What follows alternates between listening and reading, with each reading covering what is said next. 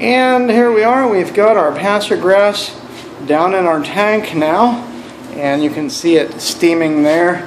We uh, use a metal screen, it's just a piece of hardware cloth.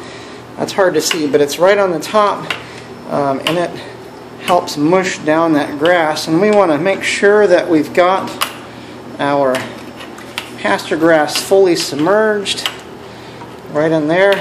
And you can see we have some bricks that we use to lay on the top. You want to make sure that's fully immersed. Now we're going to do the magic test here. I've got a standard kitchen thermometer that you would stick in a turkey. And I will take it and I will work it down through here. And I'm going to put it right at the water line here.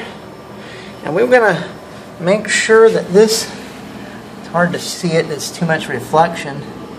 Um, we want to make sure that goes to 140 or above, and we're sitting at 150 right now. And you want this full material to sit at a minimum of 140 degrees Fahrenheit for 30 full minutes. Per the FDA, that's the minimum temperature necessary to kill off all mold spores.